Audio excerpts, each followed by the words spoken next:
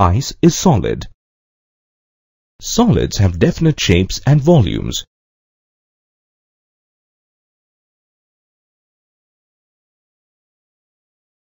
Why can't you walk on water, just like you did on the snow?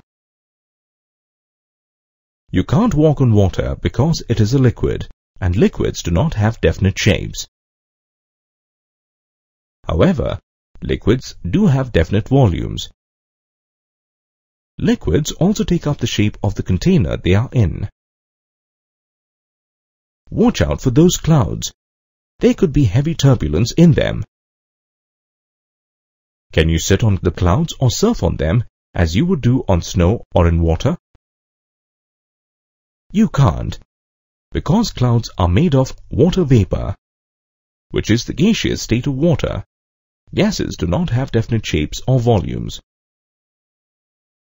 This lesson is about the states of matter and how matter is composed of particles whose behavior determines the states of matter.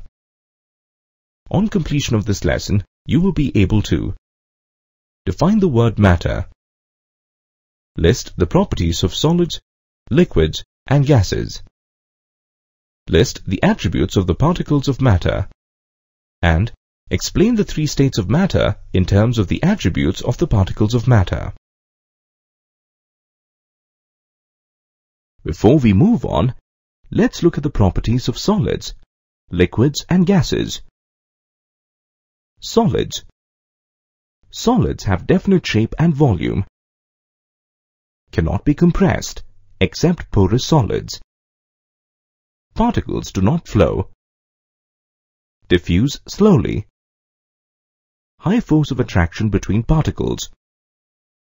Very less intermolecular space. Liquids. Liquids take the shape of the container and have definite volume cannot be compressed. Particles flow. Diffuse fast. Less force of attraction between particles. More intermolecular space. Gases.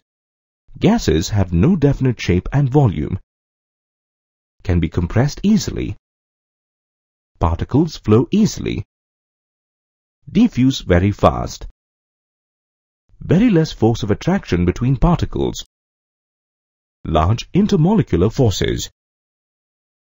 Why does matter exist in the form of solids, liquids and gases? What is matter? Matter is any substance that has mass and occupies space. All physical objects are composed of matter. So, is matter made up of something? Yes, matter is made up of small particles. Is this grain of sand a particle that you're talking about? No, that grain can be further broken into smaller particles, which are not visible to the naked eye. Those are the particles I'm talking about, and they explain why matter exists in the form of solids, liquids, and gases. Particles in matter are in a constant state of random motion and hence they possess kinetic energy.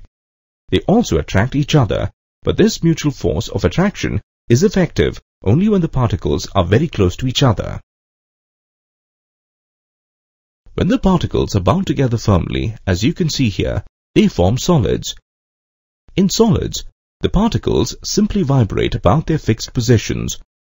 Because their kinetic energy is low and not enough to let them break away from their mutual force of attraction. Therefore solids have definite shapes and volumes. For the same reason they do not flow or diffuse. In liquids, the kinetic energies of the particles are more than in solids and the particles are not bound to any fixed positions. They move around freely, at random, throughout the liquid. However, they do not have enough kinetic energy to break out of the boundary of the liquid mass.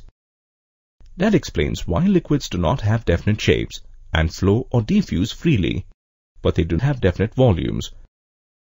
Also, compared to solids, there are more spaces between the particles of liquids, but not enough to make liquids compressible. In gases, the particles are not packed together at all because their kinetic energies are high enough to let them break away from any boundaries. They are free to move around in random motion. That is why gases have no definite shape or volume and they flow and diffuse easily. They collide with each other and with the walls of their container. That's how a gas exerts pressure on its container. Also because the spaces between the particles are large, gases are highly compressible. Now I understand. Just let me summarize what you said. Solids. Solids have definite shape and volume, cannot be compressed except porous solids. Particles do not flow, diffuse slowly, high force of attraction between particles, very less intermolecular space, Liquids Liquids take the shape of the container and have definite volume, cannot be compressed, particles flow, diffuse fast, less force of attraction between particles, more intermolecular space, gases.